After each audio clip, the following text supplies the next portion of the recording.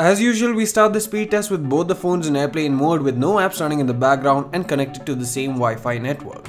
Both the phones share the same Kirin 970 octa-core chipset and have 6 gigs of RAM as well.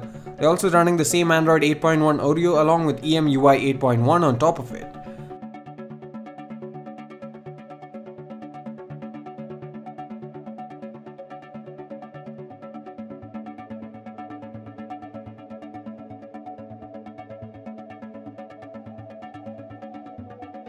They also have the hardware buttons up front that can be used as a home key which makes it easy to minimize apps.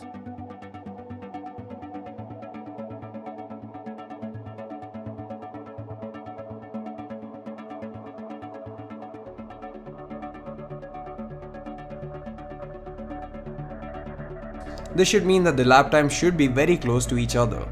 The only main difference is the aspect ratio of the screens and the resulting difference in resolution.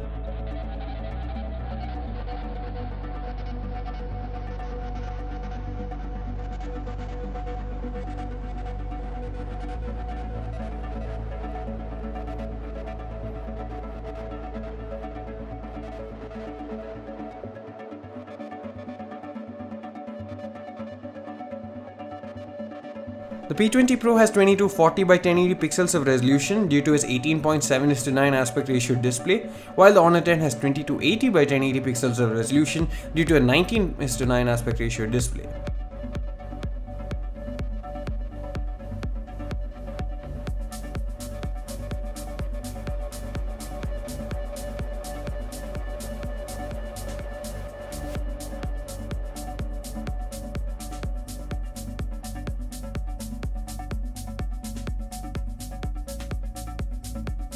Despite what you may have expected, the Honor 10 completes lap 1 first with a time of 1 minute and 52 seconds while the P20 Pro finishes in 1 minute and 59 seconds. The main reason for this could be attributed to the Facebook app which seems to have an issue with loading on the P20 Pro.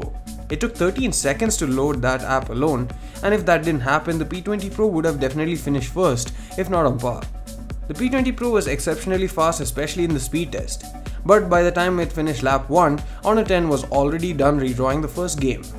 We are launching apps in reverse order to see just how well the RAM management works and in previous experiences we have seen that EMUI is very good at it.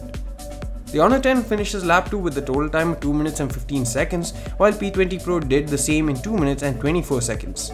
A 9 second difference which again we feel was caused primarily by the Facebook app alone.